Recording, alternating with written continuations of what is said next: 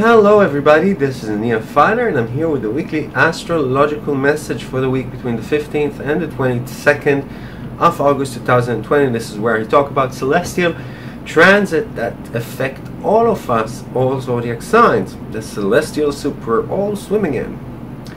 So here I am, brave and unmaked up again. My whole face burned again by laser you could see it you could see it. This is all burns. But we shall cover it up with hair and do this video nevertheless. So how have you been? I'm hello Georgia. I'm actually anxious to tell you about next week because we're having a new moon that promises a wonderful month ahead and God we need it we need some time off. We need some time for filling up our batteries, and that's exactly what we're going to get. Um, we're having Mercury in Cazimi in Superior conjunction, which is like a full Mercury. Mercury, like like a full moon. You know, it's the um, when Mercury is furthest away from Earth and uh, uh, is in the heart of the Sun and we'll talk about that.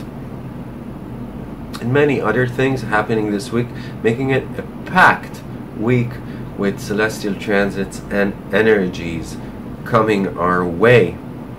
Um, Saturday the 15th we're beginning the Uranus retrograde and this is a time that we can expect the unexpected. We can ex expect to be surprised when advancements and breakthroughs come from the people we've least suspected or from the sides that we've least suspected or in the ways we've least suspected that they would come.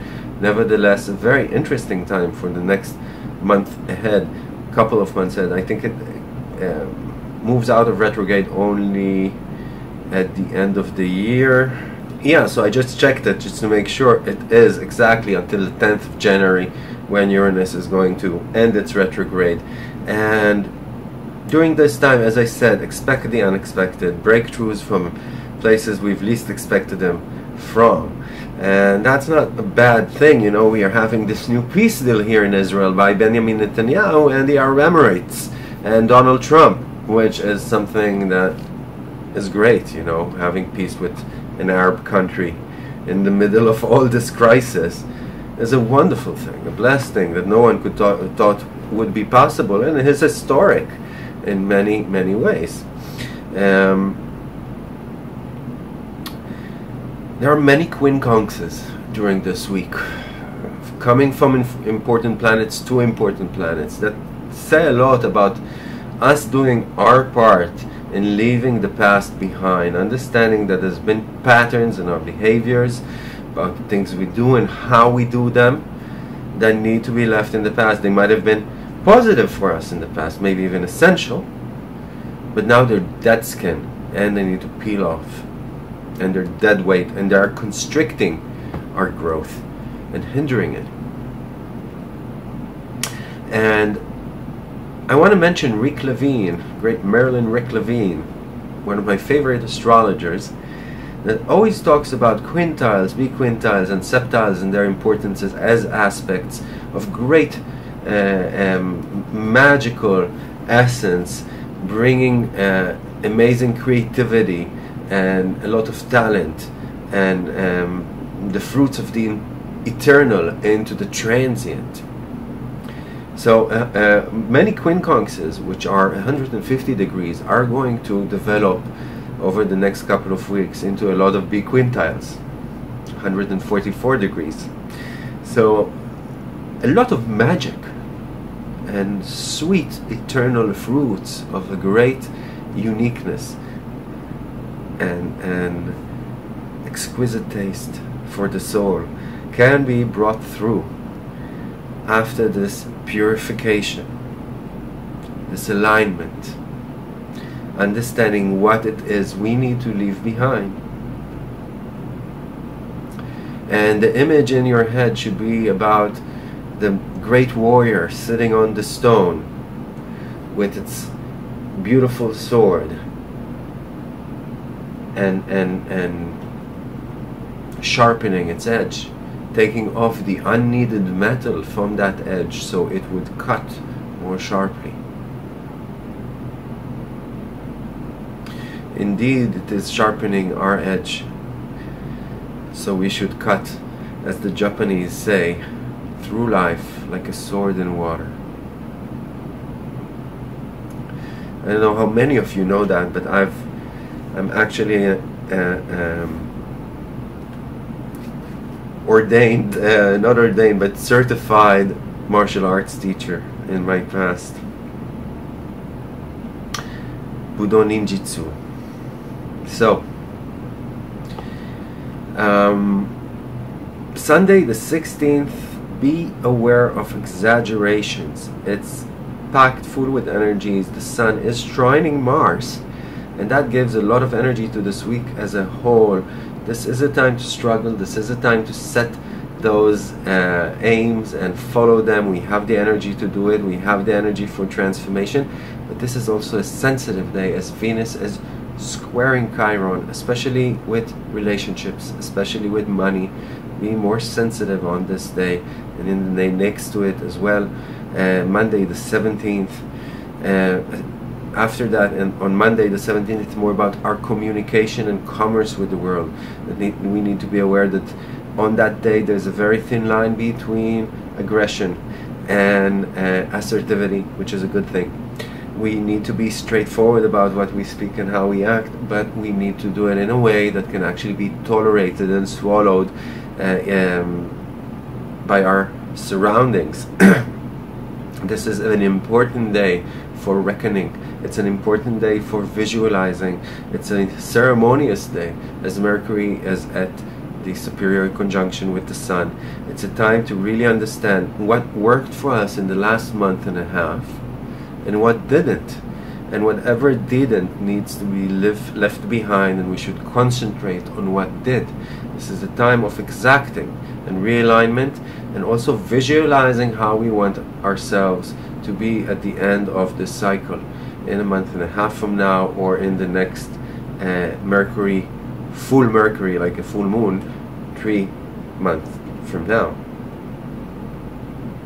Venus is sextiling Uranus uh, day after that on Tuesday the 18th. It's a great time to think outside the box regarding our relationships, regarding work and satisfaction and monetary funds and and and really meet new options or think of new options be unique and creative about uh, ways that we could enrich our lives um, with the new so it's a great time to meet new people or to start new things that can actually prove valuable for you. Um, the day after that is the new moon. So remember, day before, day after, you're an emotional sponge. The energies that you are processing are going to be there for you in the next lunar cycle of 29.5 days. So watch your sponge, as we say, as I say.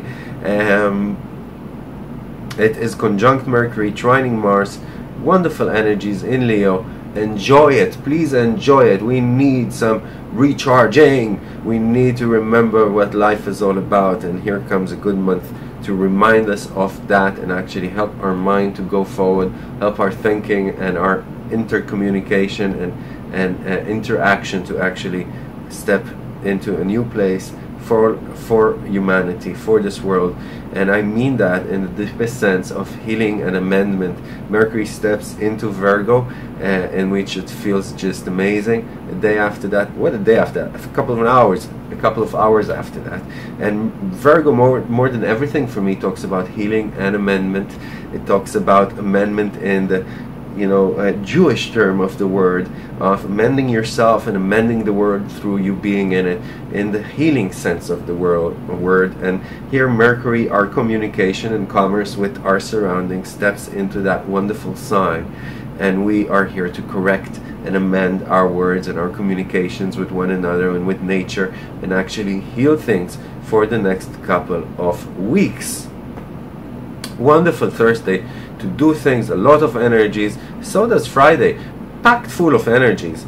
And um, actually, on Saturday, we should we could put the brakes by afternoon and actually relax a little, um, because Saturday we, we, we, we could spill over already. We could be over the top. So just watch it on Saturday. The sun is stepping in to Virgo that later that Saturday. So happy birthday all you Virgos. You are part of my biggest loves in the past and maybe in the future too. I love that um, access you have between OCD and um, being anal about things, you know, and having OCD and, and just wanting to let yourself go and and um, let go and give up controlling things and be held by the great spirit or whatever it is that Virgo Pisces axis that you all have in your charts. So happy birthday and may you have a very fruitful, healthy, beautiful year of amendment, of healing, not only to you but to all of us. Um, I want to remind you that this Sunday prices are going up. So if you want to schedule a session with me, or if you want to uh, enroll as a student, this is the time to contact me. I want to thank you for spreading these videos and commenting on them as they make more people see them. And I hope we all live long and prosper.